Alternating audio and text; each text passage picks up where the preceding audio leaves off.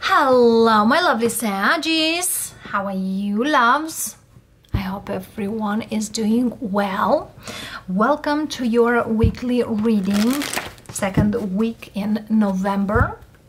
And of course, the week when we have a full moon in Taurus, as well a full lunar eclipse, which brings quite a high vibration energy. Many, many Saggies, you might feel a little weird, awkward, or even very energized at this time. And as I said, for others, zodiacs, don't forget to put your manifestations out there. It's a peak time for those, especially at this time is a great time to put those manifestations regard your work, finance, home-wise, even love. As you know, Taurus is ruled by Venus. On other hand here, when we have the lunar eclipse, there's a lot of shifts that might be very hard to, to control them. As well, the full moons are great for manifestation, but also great for release. And since we are in Scorpio season, releasing those dead ends, dead roots, dead leaves, dead things we don't need. So Sagittarius, general energy for the second week in November, still in Scorpio season. Let's see what we have for you and what are those blessings we need to hear at this time. Your card, the Knight of Wands, underneath we have Seven of Swords, Four of Wands, Strength, King of Pentacles, Three of Cups, and the Hangman. Okay, so it seems here that something here is not yet coming or it's a little delayed or comes with some kind of delay. Could be a situation regards your home could be a situation regards your work but it seems here you you are quite in tune with this Sag. But I feel also there is somebody here that probably it's not great or it's working against you. Because the hangman here let's clarify really quick. Six of wands chariot and the world. Look at this, three, four major arcana right away. So whatever here needs to come to you will come, but probably bigger than you ever think. So whomever here tries certain things behind your back or you name it, okay? Or tries to get away with certain things it actually makes you a favor. Yes certain things here comes to you a little delayed but I feel here it's kind of giving you a favor an opening. And I'll give you an example. If someone here at your work if someone talks behind your back and bad stuff and things like that actually your boss gives you the benefit of doubt. They give you that bonus. Even somebody is throwing garbage for you or on you. And yes, might be, you know, an extensive review regards whatever you do and then to find out that actually no, you didn't do anything wrong and you're actually doing the right thing and even better. So whatever here someone here tries gives you more power then takes power. So if somebody is over there try to work against you, let them do their thing because that only benefits you. That only gives you more energy. And actually gives you, for some of you work-wise, you will celebrate even. Money-wise are increasing, there is an increase of finance here as well as well a promotion, great one. Because Six of Wands, Chariot, and the World speaks of you are moving forward to the next level. to a new chapter in your life. So, my lovely Sag, let them do whatever they want to do because, again, you know, you can go through anything out there. You know how grounded you are. Okay? As well, whoever tries to hurt you or do something here for you, actually, they lift you up a little bit. As I always say, the universe always, always will give back. The Three of Cups here, Ten of Pentacles, Emperor, and Ace of Pentacles.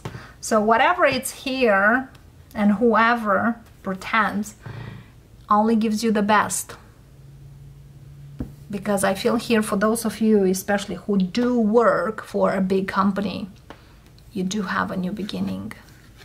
Yes, coming in slow, coming in delay, but I feel here whatever is here gives you more. So bring it on, loves, bring it on. Looks a beautiful week. And I feel here some Sagis are quite in a great favorable energy. It's kind of like for some of you, it's like couldn't be better.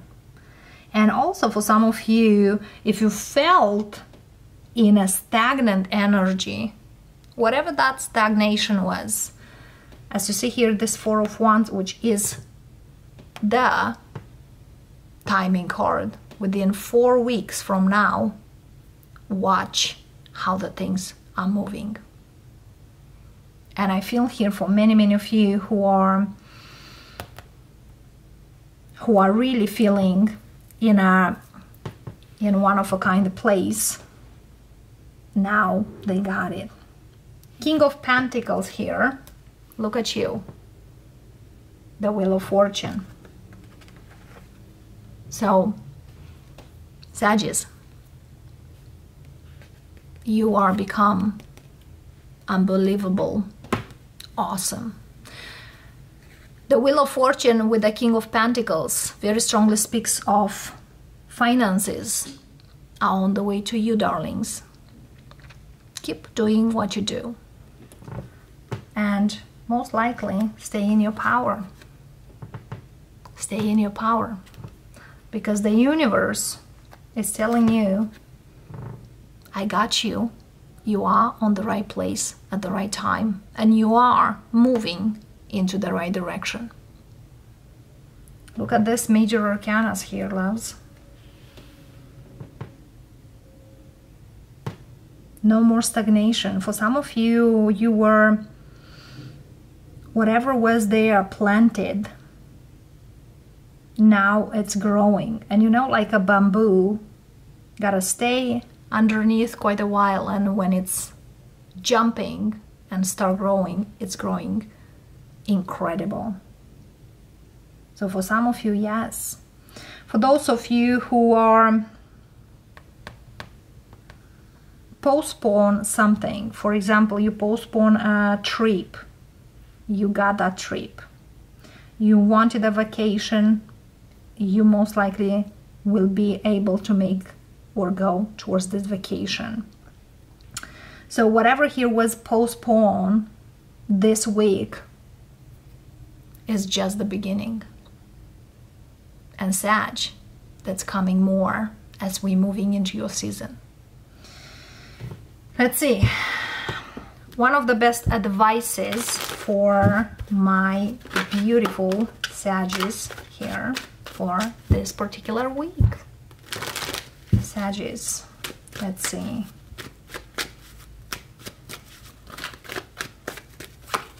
Nine of Swords, Page of Pentacles, the Devil, and the sun. And underneath we have Four of Swords. So your advice is don't stress out. Don't stress out, loves, because I feel here there is something new that is coming here and will give you much more. Sun in Capricorn. Sun in Capricorn, we are having going the 20th, 20, 20th of December. But I feel here, as you know, the, the Capricorn is considered the, the hardworking zodiac sign. And I feel here your hard work, the, those teeny tiny steps will bring you a renewal.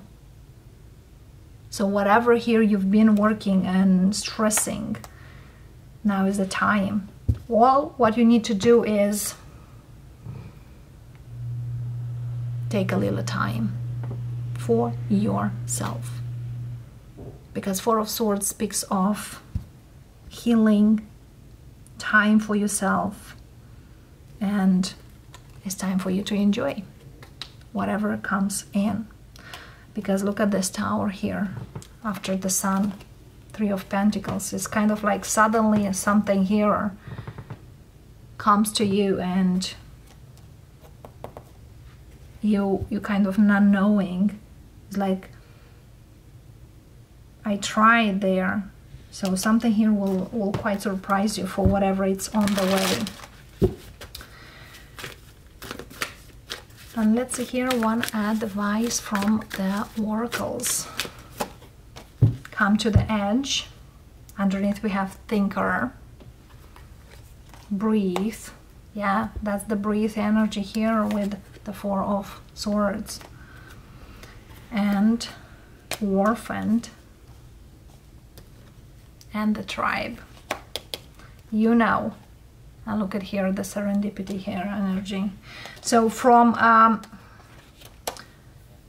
from a situation here that really felt ugly to something here that you you couldn't imagine till the moment when you'll have it, when you'll see it. And look at this clover here. But I feel here for some of you, you you could try to take a risk into some kind of thing, or you would like to take a risk. And, you know, come to the edge energy, speaking, being courageous, overcome those fear were what couldn't work. For some of you it's just like why this person talks this? Why this person do this? Or whatever.